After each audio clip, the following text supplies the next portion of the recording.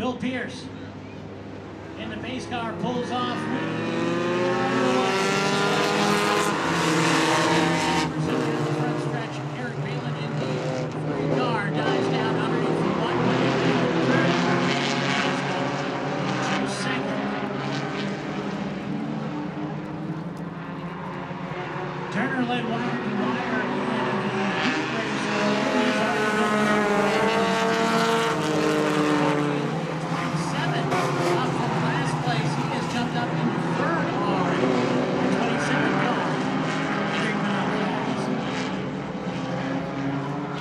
in reserve in the 57.